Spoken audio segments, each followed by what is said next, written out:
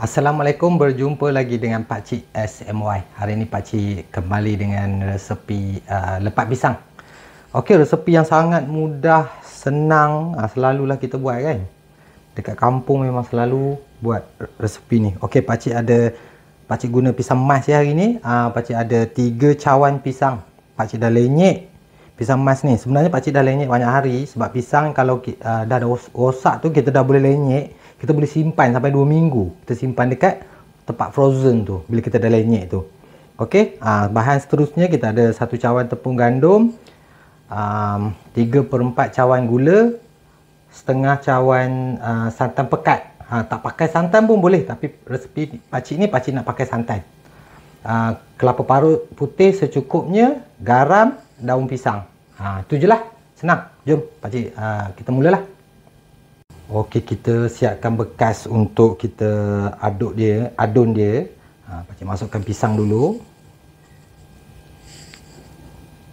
Masuk je semua. Ha, tepung gandum. Gula.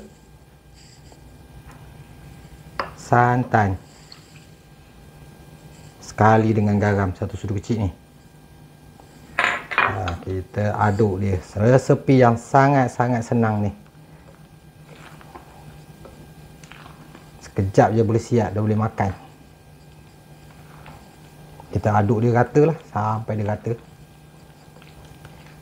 Just nice lah dia punya kepekatan tu nampak tak? Hmm, jadi kita tak payah nak tambah tepung ke apalah kalau kalau dia cair tu kita kena tambah tepung gandum sikit. Ha, ni macam just nice lah Okay, sekarang ni Pak Cik layu lah daun pisang dia. Uh, dah lap, dah layu, dah bersihkan lah. Oh, parut-parut daun pisang Pak Cik.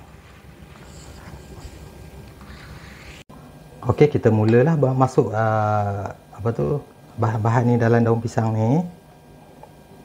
Satu sudu, Pak Cik pakai satu sudu setengah lah.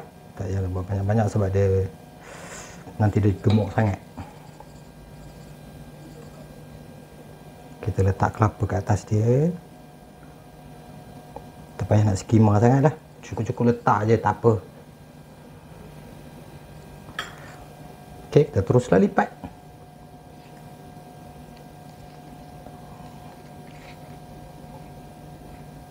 Lemak. Ok. Ha, kita lipatlah terus. Hmm. ok lipat lepat senang je hmm. peletuk sebelah sini ha, sebelah sini ha, lepas tu lipat sebelah sini ha. siap hmm. senang kan ok macam nak buat terus lah ni ok kita dah boleh masuk sekarang ni senangnya ni kan ha.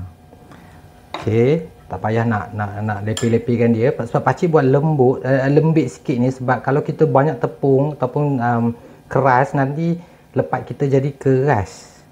Uh, tak sedar ke Allah? Halal lah tu kan? Uh, ada orang datang pula bagi salam. Tahu je pakcik tengah buat lepat ni okay, kita balut lah dia. Hmm, pada muka kau balut tak cukup. Bubur selambak ok pakcik akan kukus uh, lepat ni semua ni selama uh, setengah jam. 30 minit eh. Uh, ataupun sehingga dia masak lah. Show masak. Ok dah siap dah lepat pisang pakcik uh, pakcik kukus 30 minit tadi. Memang ngam-ngam. Mari kita tengok pakcik dah buka ni. Kita tengok kat dalam dia tu sedap eh oh, itulah rupa dia Okey, kita berjumpa lagi dengan Pak Cik di resepi-resepi seterusnya. Assalamualaikum. Senang je ni, boleh buat.